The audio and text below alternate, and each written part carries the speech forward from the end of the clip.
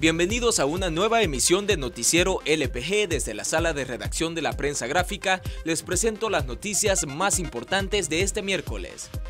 Diputados del oficialismo aprobaron en la Asamblea Legislativa el decreto para prohibir las concentraciones de personas hasta el 8 de diciembre. El decreto, disposiciones especiales y transitorias de suspensión de concentraciones y eventos públicos o privados, suspenderá toda concentración masiva de personas sin distanciamiento social, sin esquema completo de vacunación y en donde no se respeten los protocolos de bioseguridad.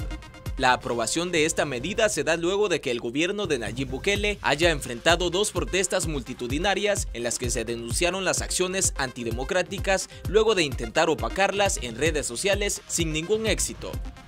Advierten que aplicarán el Código 338 del Código Penal con penas de hasta tres años de cárcel o multas de hasta 35 mil dólares a quienes organicen concentraciones. Una vez más, Marielos Quesada, madre de Fernanda Nájera, asesinada el 1 de febrero de 2019, se quedó esperando que la justicia le diera una respuesta por la muerte de su hija. La audiencia en el caso de este feminicidio fue suspendida por quinta ocasión. El juzgado especializado para una vida libre de violencia de Santa Ana tomó la decisión porque una de las imputadas llegó sin representación y no se presentaron algunos materiales para el reconocimiento de los testigos. El principal sospechoso del feminicidio es la expareja de Nájera, Michael Alejandro, junto con otras personas a las que se les acusa de complicidad, entre ellas el exfiscal Donald Augusto Valdivieso. Al cierre de esta nota, aún no se establecía fecha para la reprogramación de la audiencia.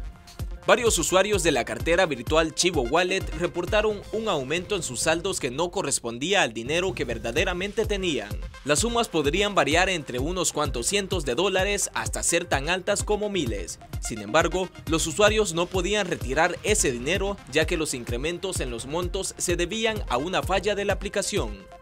El experto en criptomonedas Mario Gómez opinó en sus redes sociales que esto evidenciaba su mayor inquietud con respecto a la app, que en Archivo Wallet pueden existir los dólares sin ningún respaldo y ningún control.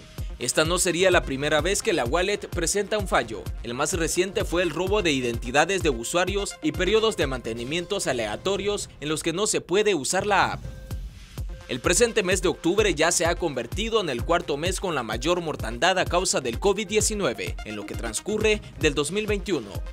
Esto según las estadísticas publicadas por el Ministerio de Salud y a pesar que el mes aún no concluye.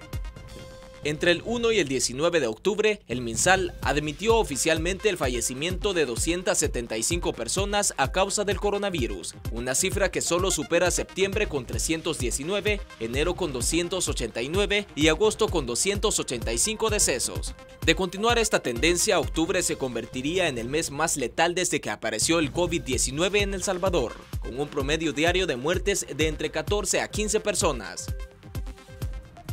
De nuestra parte ha sido todo por el momento, muchísimas gracias por habernos acompañado.